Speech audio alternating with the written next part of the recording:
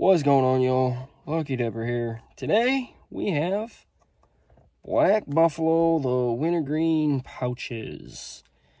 I tried the mint back in, like, March, I think. February or March, I reviewed the mint.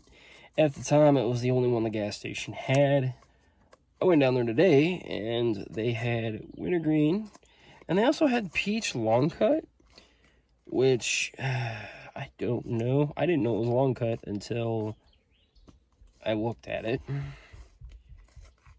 Boy. I guess we're gonna try these here. Mint ones were actually pretty strong, so I go into the gas station. My friend Nikki's working there. And she's like, Oh, are you getting them for YouTube? No, I'm getting them for my health. Yes, I'm getting them for YouTube. Holy crap. Whoa, that smells like a freaking Sharpie marker. All right. A little odd that odd the way I describe the smell, but yeah, it smells like you just sniff a Sharpie marker. This is what they look like. It's like it's like a little mini bag of flour. It's only about that full. If it's as strong as it smells, if it's as strong as it smells, you don't need that much. Here we go. One. Go two. So you can feel the burn like immediately. You can feel the uh, nicotine burn like right away, but it's not strong. It's not as strong as the mint. Letting it sit there you actually taste the wintergreen flavor. This one's a strong wintergreen. It almost tastes like you're uh, chewing gum. Almost tastes like a that wintergreen gum. I can't remember what it's called. Wow. Yeah, you start to feel it. This is actually a tobacco alternative. So it's supposed to be healthy for you, I guess.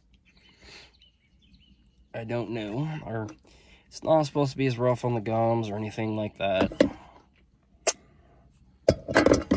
So one thing I like about this is that they are actually, and I don't know if y'all can see it, but they are made in the USA. So this is the they're made in the USA. So this is an American product. I mean, at least as far as I know. Let's see, I don't even know, does it say? It actually does not say Black Buffalo Inc., Chicago, Illinois. It doesn't say how many uh, pouches are in it. I don't really feel like counting them, but there's quite a bit. I can't remember how many were in the mint. I think it was 15 or 18. Wow, that you open that, it smells up the whole car. Wow. Okay. So let me know in the comments, guys. Have you tried this? Do they sell it at your local gas station? I got it down here from Double Quick. It's the only place I've uh, found in town that sells it.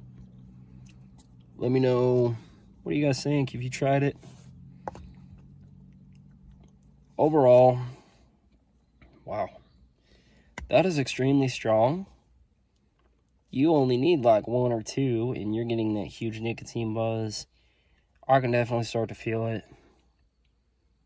I think these might actually be a perfect 10. These are one of the best pouches I've had. It's a tobacco alternative. You don't get like a sour taste, but all the wintergreen, you have it in.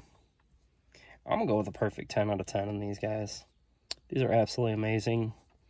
And they only cost, this one cost me $3.90 a can, which was dirt cheap because I think I paid like five bucks for the mint. So, 10 out of 10, guys. Definitely check these out. And uh, don't forget to like, share, subscribe. See you guys next one.